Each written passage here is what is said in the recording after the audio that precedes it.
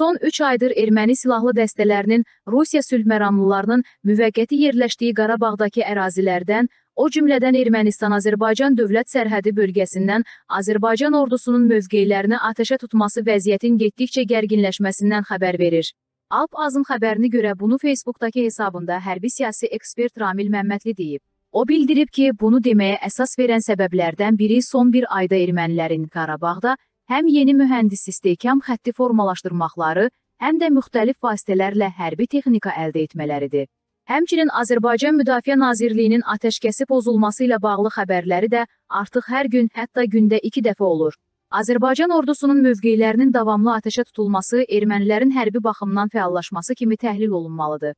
Bu isə ermənilərin hərbi texniki və canlı qüvvə baxımından yenidən komplektləşməsinə işarədir.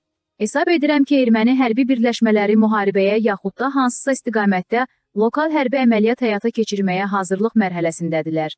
Məmmədli xatırladıb ki, sülhməramlıların nəzarətində olan ərazidə Ermənistan Müdafiə Nazirliyinə tabe olan 1-ci əlahiddə ordu birləşməsinin hərbi bölmələri, həmçinin separatçılara tabe olan qanunsuz silahlı dəstələr mövcuddur.